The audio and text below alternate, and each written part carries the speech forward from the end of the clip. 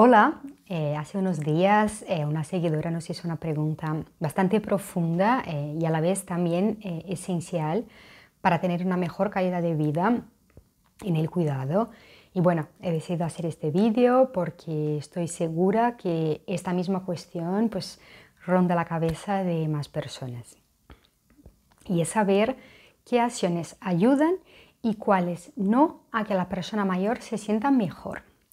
Bueno, yo soy Camila Ruy, creadora de Refrescame la Memoria y del método Serena, donde ayudamos a familiares y cuidadores a mantener la motivación de las personas con Alzheimer y otras demencias.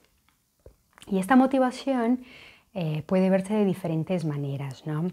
Eh, algunas familias notan eh, que la persona mayor pues, tiene más conversación, otras veces está más participativa, más animada, eh, menos adormilada, eh, otras veces con más predisposición a dar un paseo o incluso pues, más atenta a lo que hacen los demás. ¿no? En cualquier caso, eh, podemos decir que una persona mayor motivada es una persona mayor que se siente bien. Y esto nos lleva pues justo a la pregunta de hoy, ¿no? ¿Qué es lo que ayuda a que se sienta así y qué no ayuda? Me gusta mucho además este cuestionamiento porque bueno, es muy común buscar qué hacer para mejorar el día a día y centrarnos pues, en hacer más y más, ¿no? Pero tan importante como eso, eh, también eh, es evitar lo que no ayuda o lo que no motiva o incluso eh, lo que produce pues, ciertos comportamientos difíciles. ¿no? Entonces, es decir, es saber qué no hacer. Y me recuerda eh, un dicho de mi madre que siempre nos decía que cuando no molestas eh, ya ayudas bastante. Pero bueno, dicho esa parte, eh, lo primero que hay que tener en cuenta a la hora de ayudar a que las personas mayores pues, vivan esta etapa de la vida con más satisfacción, ¿no? independientemente de sus limitaciones, es que cada persona es única. Cada persona tiene su propia trayectoria de vida y por tanto eh, va a tener pues, unas preferencias y unos gustos que no necesariamente eh, se puedan generalizar. Esto nos da además dos indicaciones importantes. La primera es que no existe una fórmula mágica igual para todo el mundo para despertar su motivación, ¿no? aunque veremos que hay algunos conceptos que aplicados de una manera estructurada pues nos van a ayudar a conseguirlo. Y la segunda es que eh, tenemos que mirar a la persona, tenemos que conocerla, entenderla, invertir tiempo en reflexionar y explorar pues, estos gustos. También eh, hay que tener en cuenta que en esta etapa de la vida eh, suelen haber pues, muchos cambios, ¿no? ya sean por limitaciones físicas o cognitivas que puedan aparecer por alguna enfermedad o también por cuestiones, ¿no? por aspectos más emocionales algunos incluso consecuencia de estos cambios en el desempeño de la vida diaria y otros eh, que pueden tener que ver pues, con la pérdida de personas queridas eh, o con la propia inversión de papeles y responsabilidades que ocurren en el entorno de cuidado. Por eso, eh, a la hora de pensar en su bienestar, en el bienestar de la persona mayor, hay que mirar un poco a toda la persona, ¿no? desde el punto de vista físico, cognitivo y también emocional. De hecho, eh, hay varios estudios eh, en relación con los cuidados en demencia que indican que un entorno social que invalida o deshumaniza a la persona eh, puede acelerar la progresión de, la degeneración incluso a nivel cerebral. Sobre algunos de estos factores relacionados al propio entorno he grabado un vídeo recientemente y bueno, lo puedes consultar para poder profundizar. Por eso ahora me centraré pues en algunos aspectos eh, más emocionales que van a influir, que, impactan en la motivación de las personas mayores, porque realmente mantenerse motivado pues no es solo una cuestión puntual de hacer más actividades o de participar más.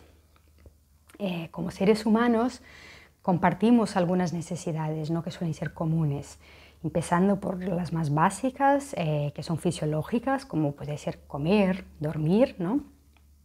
Cuando estas necesidades están cubiertas, pues tendemos naturalmente a buscar unas necesidades pues, superiores, ¿no? como es pues sentirnos seguros, formar parte de algo, ¿no? ya sea de un grupo, de nuestra familia, de nuestro entorno cercano, en fin, socializar.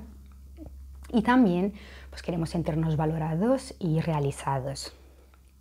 Si paras a pensar en ti mismo y en las personas que te rodean, eh, tanto en la familia, en la comunidad, en el trabajo, es muy posible que fácilmente identifiques pues, situaciones ¿no? que reflejan estos deseos que acabo de comentar.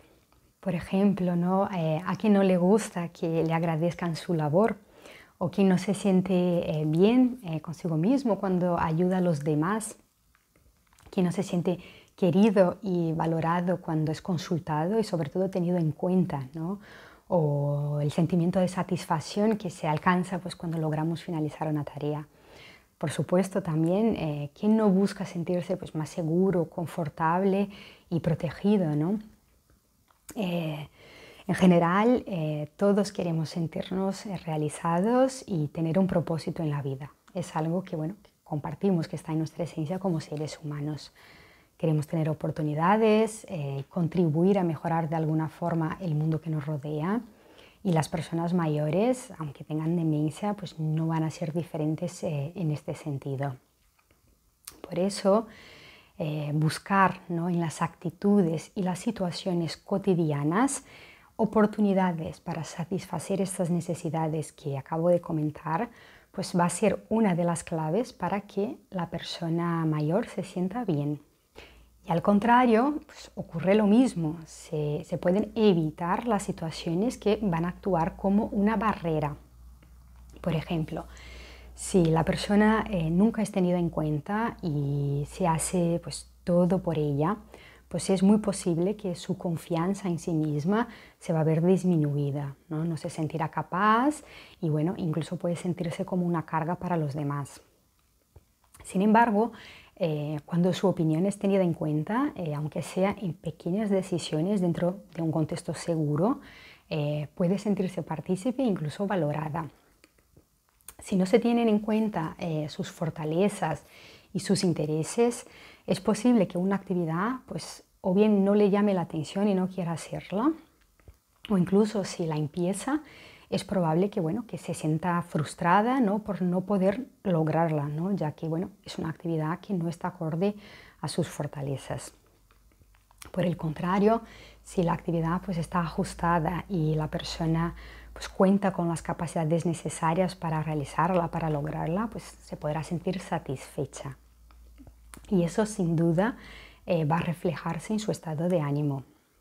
Por supuesto, eh, es un proceso en el que hay que entender también los cambios por los que está pasando eh, la persona para identificar qué necesidades pueden no estar cubiertas del todo y bueno, y así definir qué hará que se sienta mejor en esta situación y qué no. Por ejemplo, eh, puede que se sienta insegura porque, bueno, porque no ve tan bien como antes y que hay sombras por el suelo que le confunden. En este caso, ¿qué sería de ayuda para la persona? Pues bien, eh, le será de mucha ayuda pues, si compensamos sus limitaciones visuales aportando eh, más luz y mejorando también el espacio para que bueno, sienta más confianza. ¿no? ¿Y qué no será de ayuda? Pues seguramente eh, si intentamos convencerla o incluso acabamos discutiendo eh, porque tiene que caminar y tiene que moverse, eh, porque eso es algo que es importante para su salud física, ¿no? esta situación de discusión pues, puede generar más malestar que beneficios. Por supuesto, la actividad física es esencial para la salud, pero primero hay que dar confianza, ¿no? creando un espacio que la persona pueda tener eh, esta seguridad y que también pues, le invite a moverse. ¿no? Y eso hará que, bueno, que pueda eh, desplazarse, moverse, etcétera, sin necesidad de este punto de discusión previo o a regañadientes, como nos soléis decir. Al final eh, es una forma de pensar y de ver a la persona y bueno, para cada uno de estos pasos pues hay técnicas para pasar a la práctica, pero hoy he querido eh, compartir en este vídeo pues estos aspectos eh, más conceptuales ¿no? para explicar por qué actuar de esta manera. Así que a modo de resumen, eh, para definir qué ayuda y qué no ayuda a la persona mayor a sentirse bien, podemos guiarnos eh, por estas características y necesidades que compartimos como seres humanos, ¿no? mirando eh, si las actitudes en el día a día están favoreciendo eh, satisfacer esas necesidades o están actuando como barreras.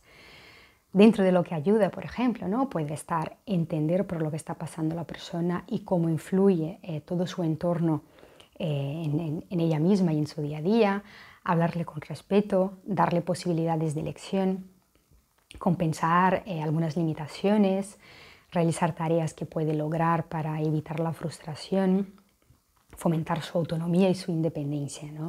En otras palabras, pues crear oportunidades para que se sienta valorada.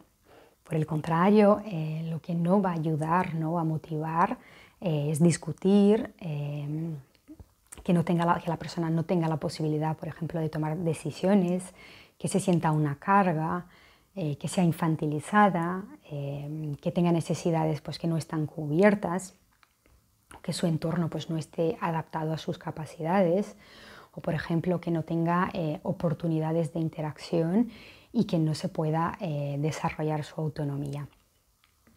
Y bueno, espero que todas estas ideas eh, te aporten mucha luz y bueno, también te animo a ver los últimos vídeos que he publicado porque mm, podrás profundizar también en cómo llevar a la práctica muchos de estos conceptos eh, en varias situaciones cotidianas.